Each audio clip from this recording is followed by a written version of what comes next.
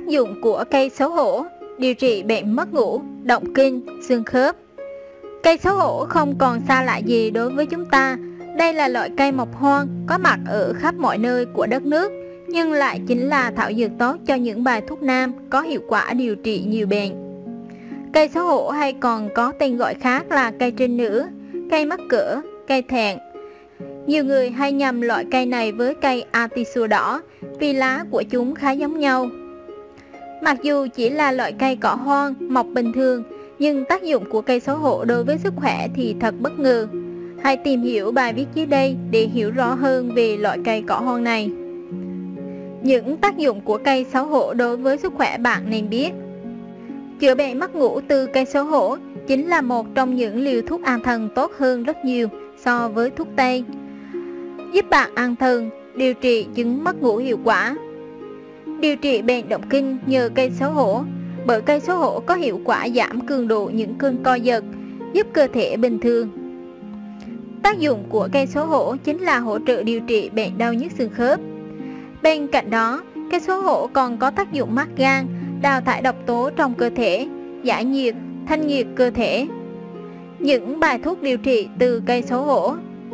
Tác dụng của cây xấu hổ điều trị bệnh mất ngủ, suy nhược cơ thể, để điều trị bệnh mất ngủ hiệu quả, hãy thực hiện với phương pháp như sau. Cành cây xấu hổ được rửa sạch, cắt ngắn sau đó phơi khô tầm 15 đến 20 g, sau đó đun nước uống hàng ngày.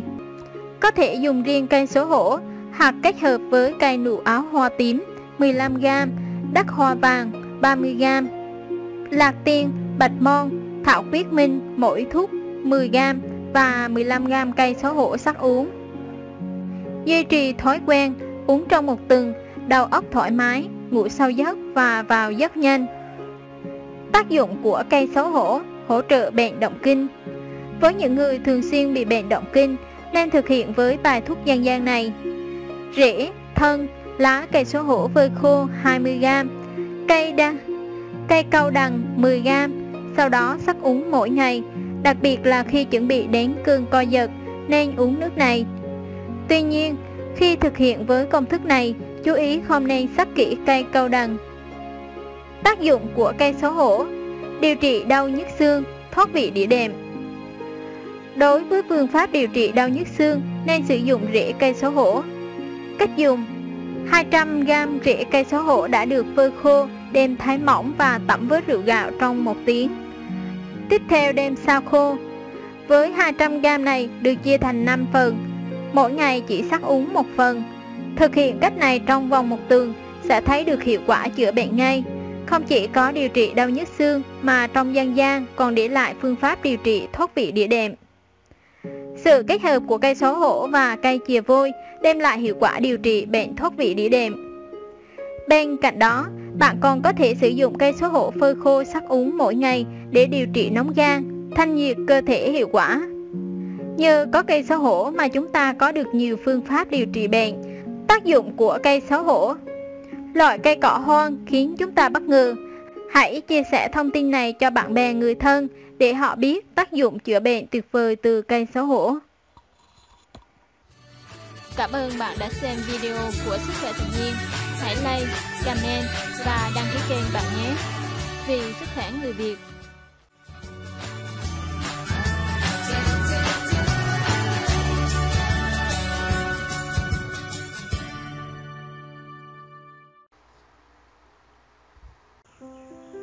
sáu loại rau không nên luộc mà lâu nay ít ai để ý.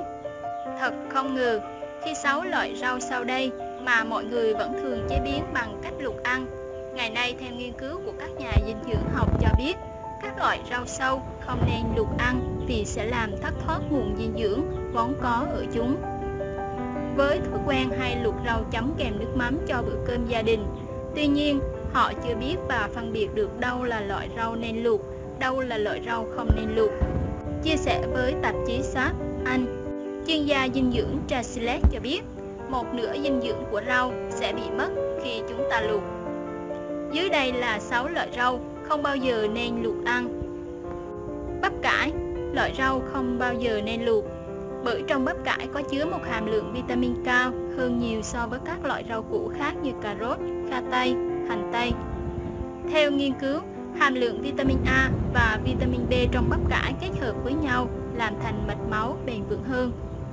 Ngoài ra, nó còn chứa một số chất chống ung thư như sulforaphane và intrapapacapinol.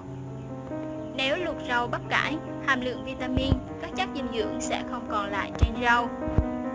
Cải bó xôi hay còn gọi là rau chân vịt, loại rau không bao giờ nên luộc bởi cải bó xôi vô cùng giàu sắt cùng vitamin C. Sắt có tác dụng làm nhân cho tế bào máu, còn vitamin C có tác dụng tăng cường hòa tan sắt trong dịch ruột, giúp sắt được hấp thụ ở hệ tiêu hóa. Nếu không muốn vitamin trong cải bó xôi bị mất thì đừng nên sử dụng phương pháp luộc để ăn. Vậy nên thay vào cách chế biến bằng xào hay hấp. Cải xoăn, loại rau không bao giờ nên luộc. Cải xoăn là một trong những loại thực phẩm lành mạnh nhất nhờ chứa nhiều vitamin, khoáng chất và dưỡng chất thực vật. Loại rau xanh này nên được đưa vào chế độ ăn của gia đình. Tuy nhiên, nên hạn chế sử dụng phương pháp luộc đối với loại rau này nếu không muốn mất đi các dưỡng chất chứa ở trong rau. Vậy nên thay vào cách chế biến bằng xào hay hấp. Bông cải xanh, còn gọi là súp lơ xanh, loại rau không bao giờ nên luộc. Bông cải xanh từ lâu được coi là siêu thực phẩm đối với sức khỏe của con người. Bông cải xanh có giá trị dinh dưỡng rất lớn. Nó là nguồn thực phẩm giàu chất sắt, protein, canxi, chrome, carbon hydrate, vitamin A và vitamin C. Nếu như có thói quen luộc rau này thì nên bỏ ngay vì sẽ làm mất đi lượng vitamin chứa trong rau. Thay vào đó có thể áp dụng một số cách chế biến khác như xào, nướng, hấp. Các loại đậu quả, loại rau không bao giờ nên luộc. Tương tự như bắp cải, bông cải xanh, cải xoăn, các loại đậu quả cũng chứa nhiều vitamin, dưỡng chất cần thiết có sẵn. Nếu như dùng phương pháp luộc, cũng chính là tự đánh mất đi lượng chất cần thiết có trong các loại đậu quả này mà thay luộc là xào hoặc hấp. Đậu Hà Lan, loại rau không bao giờ nên luộc. Các nhà nghiên cứu đã phát hiện ra cumetron, một loại dinh dưỡng thực vật trong đậu Hà Lan có tác dụng chống lại bệnh ung thư. Ăn đậu Hà Lan hàng ngày có thể làm giảm đáng kể khả năng bị ung thư dạ dày. Nhiều chị em có thói quen luộc đậu Hà Lan trước khi chế biến món ăn. Thói quen này tưởng như bình thường, nhưng lại tự tay đánh mất đi những dưỡng chất vốn có trong hạt đậu. Vậy nên thay vào cách chế biến bằng xào hay hấp. Do vậy, các nhà dinh dưỡng khuyến nghị người nội trợ có thể thay thế cách chế biến 6 loại rau trên từ luộc bằng phương pháp hấp hoặc nướng. Hoặc nếu vẫn thích luộc thì nên sử dụng ít nước thôi, tận dụng nước luộc để ăn. Làm món hầm hạt nấu súp như thế sẽ đỡ lãng phí các vitamin có trong rau. Nguyên tắc chung là rút thật ngắn thời gian nấu, giảm lượng nước dùng để nấu. Cảm ơn bạn đã xem video của Sức khỏe tự nhiên. Hãy like, comment và đăng ký kênh bạn nhé. Vì sức khỏe người Việt.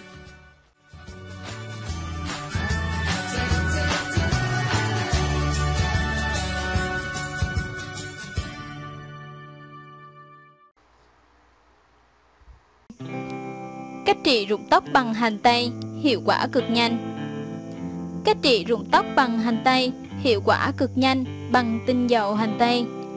Trà trực tiếp hành tây hoặc kết hợp với mật ong, rượu, chữa tận gốc bệnh rụng tóc ở phụ nữ sau khi sinh, giúp mái tóc đẹp bồng bềnh. Cách trị rụng tóc bằng dầu ô liu. Rụng tóc sau sinh là gì? Rụng tóc sau sinh là hiện tượng xảy ra với cả những bà mẹ đang cho con bú và không cho con bú. Lượng tóc rụng ở mỗi bà mẹ là khác nhau. Thường thì rụng nhiều ở tháng đầu và giảm dần sau 1 đến 3 tháng. Tuy nhiên, nhiều bà mẹ có thể bị rụng tóc kéo dài lâu hơn nếu không biết cách chăm sóc tóc. Rụng tóc ở những bà mẹ sau sinh thường rụng ở đỉnh đầu. Tóc mỏng dần đi và rụng nhiều khi bạn chải dầu ướt. Da đầu thường yếu và nhờn hơn sau khi sinh con. Lượng tóc rụng có thể tới 20 đến 30% tóc. Thông thường, rụng tóc sau sinh sẽ kéo dài từ 5 đến 6 tháng.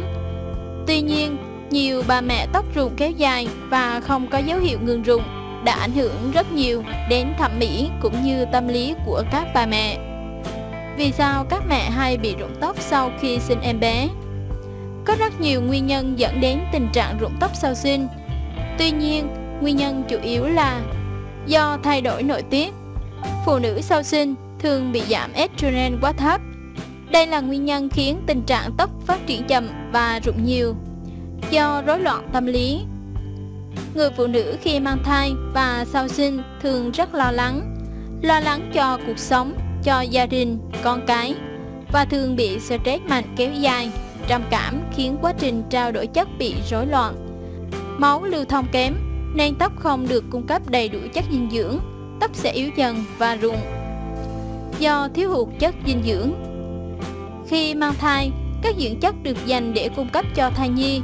Sau khi sinh con, lại tiếp tục tập trung dưỡng chất cho bầu sữa nên dẫn đến tình trạng cơ thể thiếu hụt dinh dưỡng khiến tóc không nhận được đầy đủ dưỡng chất từ máu nên tóc dễ hư tổn và nhanh rụng.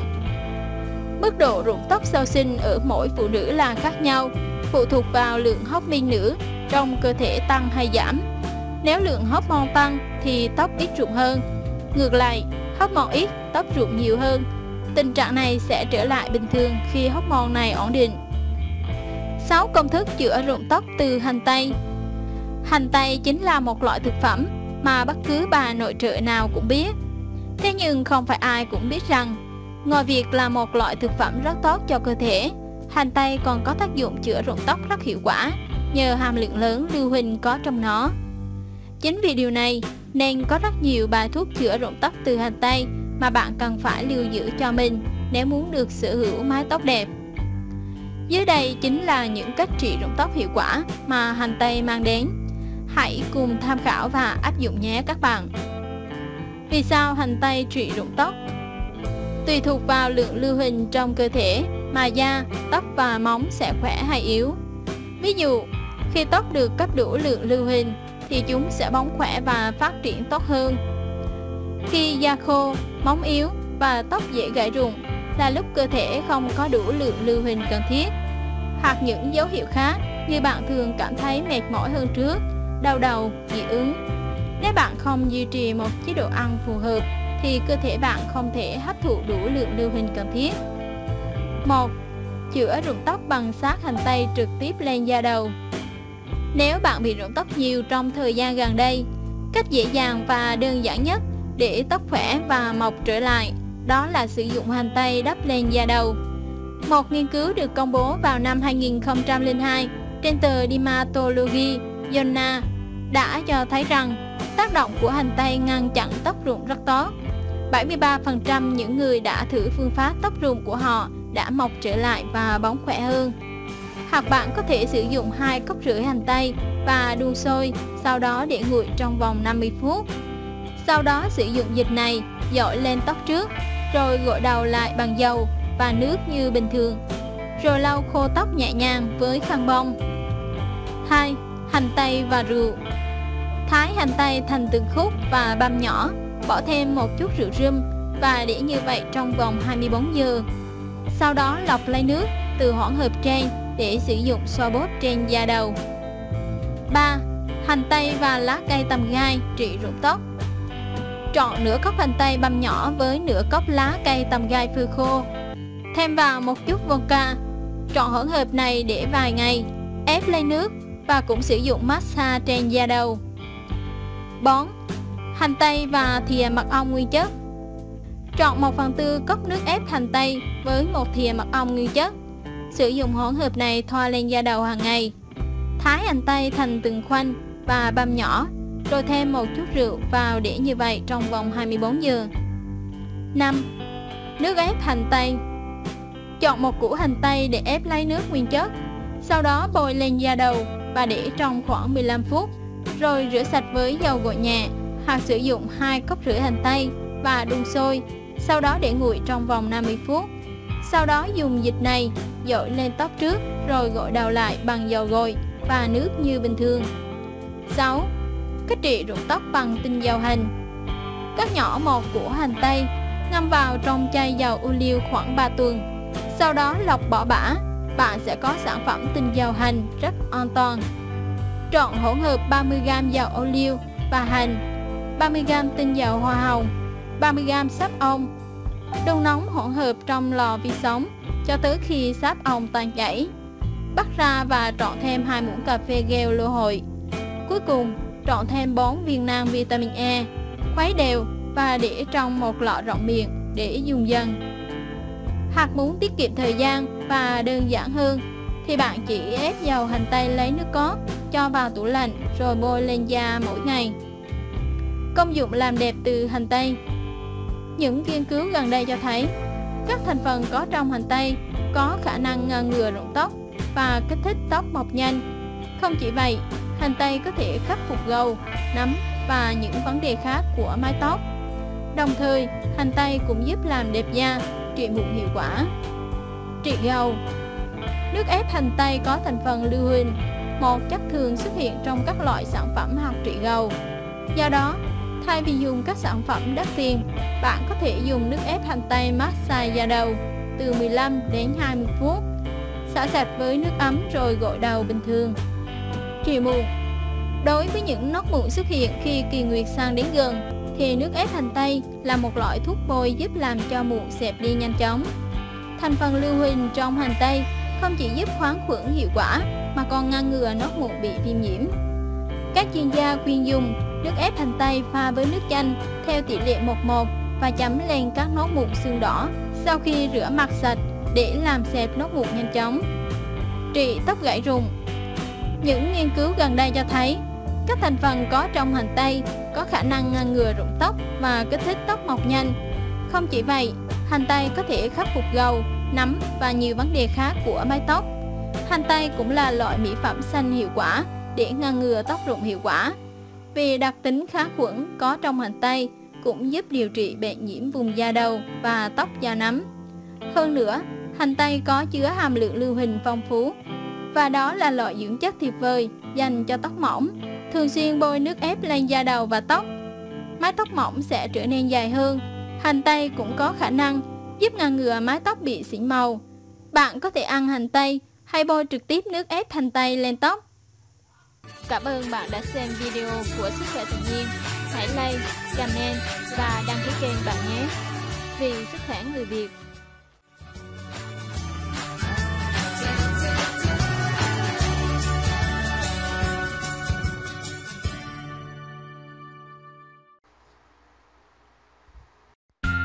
Cách chữa tóc bạc sớm bằng đậu đen đơn giản tại nhà Tóc bạc sớm chính là nỗi ám ảnh của nhiều chị em phụ nữ Vậy chúng ta phải làm sao để chữa trị chúng?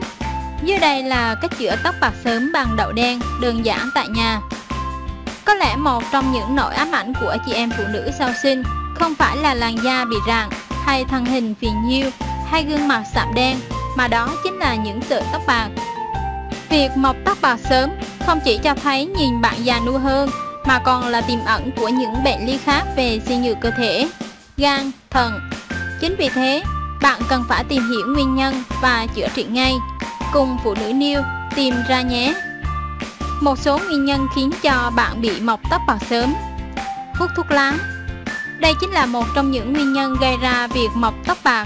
Đối với những người hút thuốc lá, thường dễ bị bạc tóc sớm gấp 4 lần so với những người không hút thuốc. Vì vậy, bạn cần phải ngừng ngay việc hút thuốc lá để không mắc bệnh mọc tóc bạc này. Ngoài ra, cũng có thể do một số nguyên nhân khác như nhiều người mắc phải bệnh thiếu máu ác tính, thường do thiếu máu vitamin B12 nên làm giảm việc sản sinh các sắc tố hay hội chứng Winnet. Một bệnh bao gồm các biện chứng lão hóa sớm vào độ tuổi 30. Nguyên nhân tiếp theo đó chính là bạn đã già. Tóc bắt đầu chuyển từ màu đen sang trắng đây cũng là nguyên nhân hầu hết ai cũng mắc phải khi tuổi già đã đến. Đậu đen có tác dụng gì trong việc làm cho tóc chuyển màu? Đậu đen là thực phẩm ăn uống hàng ngày, giúp làm thanh lọc cơ thể và cung cấp nhiều vitamin cho da. Đặc biệt, đậu đen có thể làm đăng tóc trở lại trong thời gian nhanh nhất. Nhờ vào thành phần thiên nhiên có sẵn trong đậu đen, giúp nuôi dưỡng tóc, mà lại cho bạn mái tóc đen mượt hơn. Một trong những nguyên nhân gây bạc tóc chính là thiếu máu thiếu vitamin B12, hội chứng Winnet, sử dụng một số viên khác gây rụng tóc, nhạt màu và viên methotrexate thường dùng điều trị ung thư và viêm khớp dạng thấp. Nếu như bạn có thói quen hay uống nước đậu đen mỗi ngày sẽ giúp bạn cải thiện được các vấn đề này và mái tóc sẽ dần đen mượt trở lại. Đây chính là cách mà các chị em nên tham khảo ngay.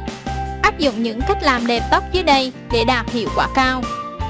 Uống nước đậu đen hàng ngày Việc làm được xem là đơn giản và nhanh gọn nhất, đó chính là uống nước đậu đen hàng ngày. Việc làm này sẽ giúp phục hồi vóc dáng cũng như mái tóc đen mượt. Mỗi ngày, bạn chỉ cần pha nước đậu đen uống hàng ngày, có thể uống xen kẽ cùng với nước lọc để tốt cho sức khỏe. Nhưng trước khi nấu sôi, bạn cần cho hạt đậu đen vào chảo rang cho thơm và cho vào nồi để nấu nước hàng ngày.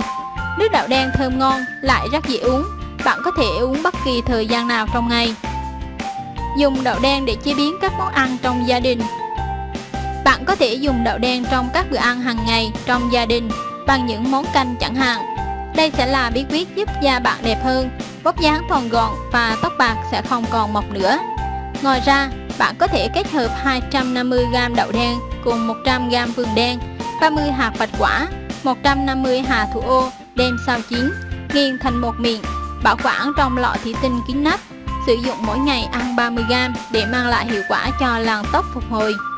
Bí quyết này được xem là hiệu quả và an toàn nhất. Hy vọng với những thông tin ở phía trên mà chúng tôi cung cấp sẽ giúp cho chị em phụ nữ biết thêm nhiều thông tin đơn giản tại nhà, tiết tốn kém, an toàn và sở hữu mái tóc dài đen mượt đến bất ngờ. Cảm ơn bạn đã xem video của Sức khỏe tự nhiên. Hãy like, comment và đăng ký kênh bạn nhé. Vì sức khỏe người Việt